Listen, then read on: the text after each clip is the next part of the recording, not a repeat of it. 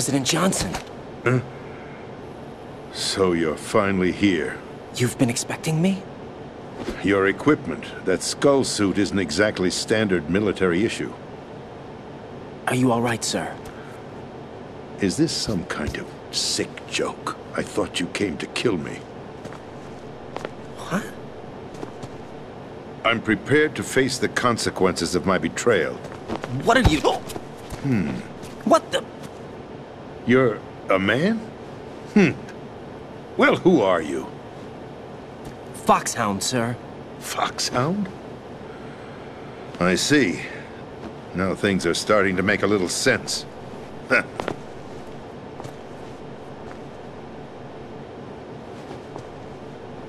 Switch over to nano communication so nobody can listen in. Yes, sir.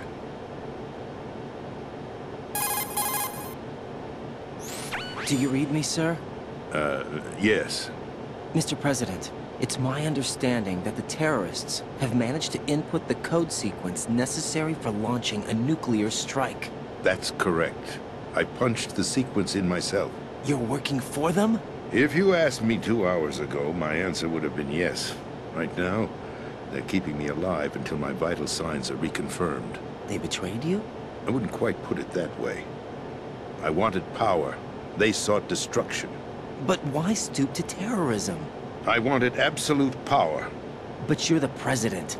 You have power. No, I'm just a figurehead. What? I don't have any control. The real power is in the Patriots' hands. The Patriots? The truth behind this country. I'm not surprised you've never heard of them. Very few are aware of their existence, even among those with code word clearance. Huh? Politics, the military, the economy, they control it all. They even choose who becomes president. Putting it simply, the Patriots rule this country. No. Hmm. Hard to believe, isn't it? But it's the truth. The space defense, income tax reduction, and national missile defense programs. Every policy that's been credited to me was actually done according to their instructions. Space defense was initiated by Congress. That's what the Patriots want the country to believe. It's all a show. Democracy is just a filler for textbooks. Think about it. Do you actually believe that public opinion influences the government? No. This country is shaped and controlled as the Patriots see fit. The people are shown what they want to believe. What you call government is actually a well-staged production aimed at satisfying the public. Huh? Don't look at me like that. I'm legally sane, you know. It's not your sanity that worries me. The Patriots. Even I don't know who the actual members are. Are they financial, political, or military leaders? No one knows who the Patriots really are. Even my instructions come from a cutout. All I've been told is that every key decision is made by a group of 12 men, known as the Wise Men's Committee. Your office? The White House? Merely puppets, pawns in a game. By pledging my loyalty, an insignificant son of a senator was awarded the presidency. Huh. Of course, that wasn't the only price I had to pay. What do you mean? Even if a pawn becomes a queen, it is still just a playing piece. I wanted to leave my own mark in history, but my ambitions were... You'll understand someday.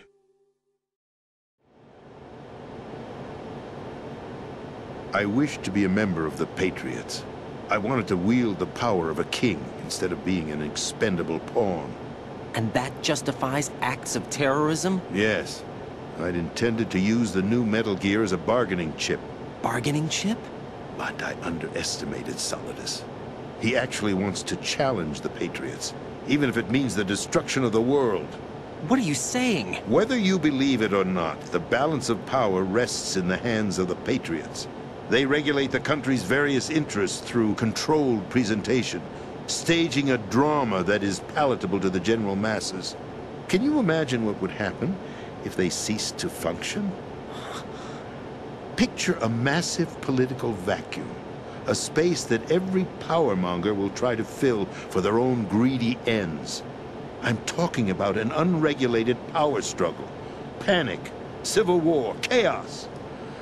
Like it or not, the Patriots is an organization that must continue to exist. So you changed your mind because you wanted to avoid global chaos. Exactly. When I told Solidus that I wished to prevent disaster, he replied that pawns can never become players. And who is this Solidus? My predecessor, George Sears. That was the name the public came to know him by. I knew him by his code name, Solidus Snake. He was the third snake, preceded by Solid and Liquid, a survivor of the Les Enfants Terribles project. Neither solid nor liquid, he was a well-balanced masterpiece that the Patriots saw fit to entrust with the presidency. However, he fell out of grace with the organization four years ago. When acting on his own, he started an incident. Four years ago. Shadow Moses. That's right. At the time, the DARPA chief, Donald Anderson, together with certain influential parties, initiated the development of Metal Gear Rex and an advanced nuclear warhead. However, this did not fall in line with the Patriots' plans. What's more, Solidus decided on his own to send his most trusted man, Ocelot, to provoke Liquid Snake, bringing about the said incident. As a result, he succeeded in obtaining Rex and the data on the warhead. But in doing so, he ended up revealing the existence of both Rex and the Genome Army, a blunder that earned him the wrath of the Patriots. Shortly thereafter, Solidus was removed from the presidential office.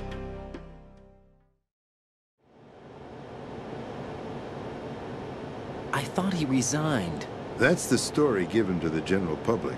Following his resignation, the Patriots selected me, their new pawn, for the presidency. But that would mean that the presidential race was... That was quite a show, wasn't it?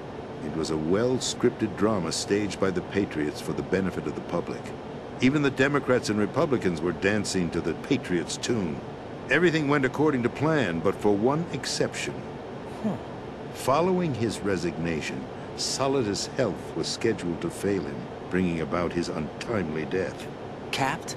Correct. But before the Patriots could execute their plot, Solidus went underground with the help of Ocelot. As he avoided pursuit, Solidus gained control of Dead Cell, winning over Colonel Gurlukovich's outfit. From there, he bided his time, knowing that his opportunity would soon arrive. What opportunity? The completion of the new Metal Gear project, an opportunity that would even his odds against the Patriots. By stealing the Patriots' most valued project, he would be able to place them in a very uncomfortable position. It's the only chance he has for survival. Once he has the new Metal Gear, he'll declare war against the Patriots. Needless to say, he must be stopped. Metal Gear is already operational. No, not yet. Hmm? What you saw was Metal Gear Ray, hijacked two years ago from the Marines by Ocelot. That was not the new Metal Gear. Then where's the new Metal Gear? Right here. What? You're standing in it. To be more precise, this entire big shell facility is the new Metal Gear. What'd you say? No, I'm quite serious. The upper structure that you've seen is camouflage, designed to represent an offshore cleanup facility. The main structure extends from the foundation all the way down to the ocean floor. The connecting elevator is located on the B2 floor of the Shell 1 core. Arsenal Gear. That's the code name for the new Metal Gear. Arsenal? That's right. Arsenal. We're talking about an impregnable fortress carrying a load of over a couple of thousand missiles, including nuclear warheads, all protected by a horde of mass-produced Metal Gear Ray units. Mass-produced? The Ray unit was originally designed for the Marines to be used as a countermeasure against the Metal Gear variations throughout the world. The Patriots had Ray redesigned to protect the new Arsenal gear. So now anti-Metal Gears are guarding a Metal Gear. Ironic, isn't it? That's not all. Arsenal Gear has full access to the military's tactical network, giving it the ability to exercise absolute control over our nation's armed forces, not to mention our nuclear armament. In short, Arsenal was created to be the core of our country. What kind of idiotic weapon? Weapon? No. You're not seeing the full picture. Hmm? Arsenal gear is more than just a military tool. It is a means to preserve the world as it is. It will establish a new form of control. The Patriots will use it to keep their place as the country's true rulers. Right now, they feel pressured and threatened. By what?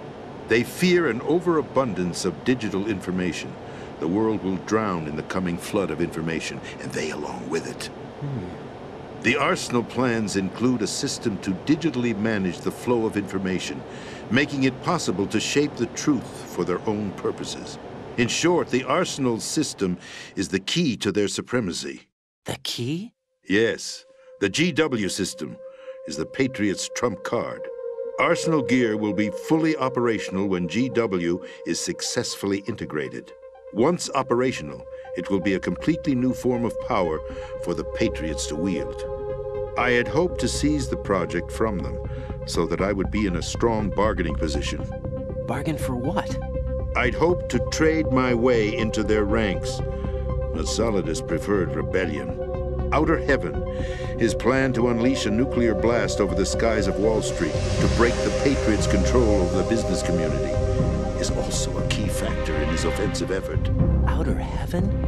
Listen, there isn't much time. The football served as the key for activating Arsenal gear. I've already input the necessary code sequence. It won't be long before GW begins to establish connections with other external systems, and Arsenal gear becomes fully operational. Stop them before that happens. That is your role. Roll? You've got to find Emma Emmerich. She's the only one who can stop that thing once it's been activated. Emma Emmerich? She's the system programmer for Arsenal Gear. I believe she's somewhere on level B1 in the core of this building. I thought the levels below us were flooded.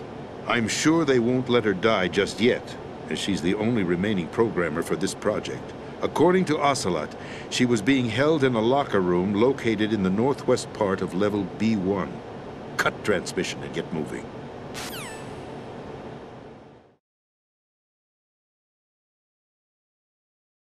This is card 4. It'll give you access all the way to Emma's location. Give this to her when you find her. What is it? A program for disrupting the control functions between GW and Arsenal Gear. Take Emma to the computer room on level B2, Shell 1 core. She'll know how to load the program into the main system. A virus? That's right, modeled after Foxdie, a biological weapon designed to selectively eliminate personnel with a specific genetic code. But why do you have it? The Patriots had it engineered as a failsafe, and Ocelot forgot to search me. You've got to hurry. That disk is the only way you're going to stop Arsenal.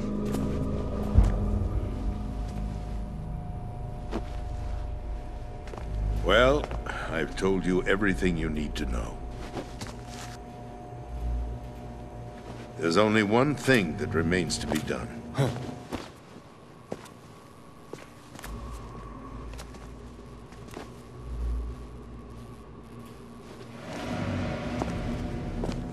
Now, kill me. What the? There's no time to argue. The final check for my vital ID will start any second. If you kill me now, you'll at least prevent the nuclear strike. Cut it out! Uh, do it! That's your role! Pull!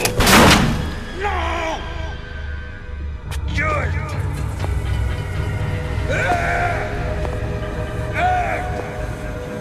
That's abusing your right to free speech, Mr. President.